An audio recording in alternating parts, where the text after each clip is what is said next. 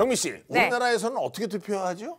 우리나라는요 음. 들어가가지고 처음에 주민등록증으로 딱 한 다음에 투표용지 받아서 들어갑니다. 그 안에 들어가면 엄청 떨리죠. 그런 다음에 거기 있는 도장을 꼭 찍어요. 그렇습니다. 그러면 나와 또 누가 볼까봐 막 근데. 또 이것도 여기 금에 닿을까 봐.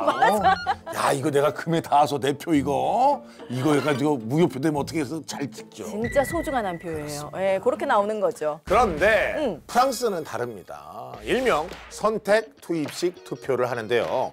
투표용지 한 장에 후보자 한 명의 이름이 적혀 있는 방식입니다. 그러면은 후보자들의 이름이 적힌 종이를 선택하는 거예요? 그렇습니다. 지지하는 후보의 투표 용지를 선택해서 준비된 종이 봉투에 담고 투표함에 넣습니다. 투표 용지도 후보자의 수만큼 나오게 됩니다. 만약 후보자가 10명이면 10장의 투표지가 있는 거죠. 자, 프랑스엔 우리와는 다른 또 다른 한 가지가 있는데요. 바로 투표함입니다.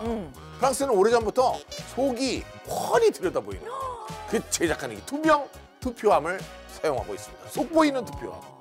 우리는 이렇게 약간 이렇게 우린 안 보이잖아. 아니지 우리는 이쪽은 안 보이고 앞쪽으로는 또 보이고 그렇게 돼 있지 않나? 우리 안 보이지 않아요? 어.